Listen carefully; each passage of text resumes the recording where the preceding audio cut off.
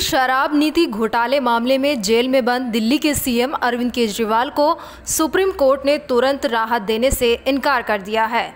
इस मामले में सुप्रीम कोर्ट ने ईडी को नोटिस जारी कर 24 अप्रैल तक जवाब देने का आदेश दिया है। अदालत अब इस मामले पर 29 अप्रैल को सुनवाई करेगी।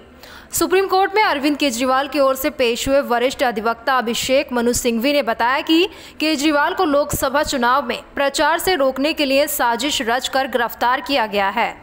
उन्होंने इस प्रकरण में जल्दी सुनवाई करने की मांग की है। इस पर माननीय न्यायालय ने कहा कि सुनवाई 29 अप्रैल से पहले नहीं की जा सकती। हम सुनवाई के लिए बाध्य नहीं है। दिल्ली सीएम के वकील ने मामले को सुनवाई के लिए 29 अप्रैल को ही सूची में शामिल करने की मांग की थी।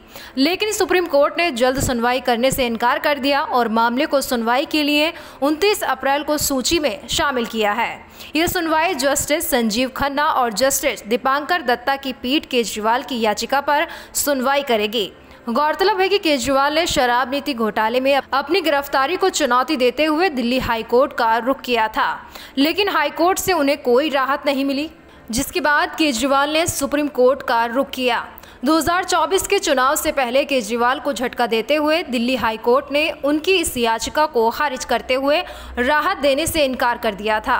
केजरीवाल ने शराब नीति से जुड़े मनी लॉन्ड्रिंग मामले में अपनी गिरफ्तारी को चुनौती दी थी।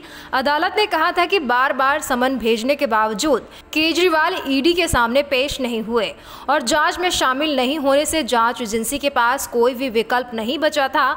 दिल्ली शराब नीति घोटाले मामले 2021-22 के लिए दिल्ली सरकार की शराब नीति तैयार करने और सफलतापूर्वक चलाने में हुए कथा कथित भ्रष्टाचार व मनी लॉन्ड्रिंग से संबंधित है। दिल्ली शराब नीति को बाद में रद्द कर दिया गया था। जाँच एजेंसी की दंडात्मक कार्यवाही से सुरक्षा देने से उच्चतम न्यायालय के इनकार के कुछ ही घंटों बाद ईडी ने केजरीवाल को 21 मार्च को गिरफ़्तार कर लिया था।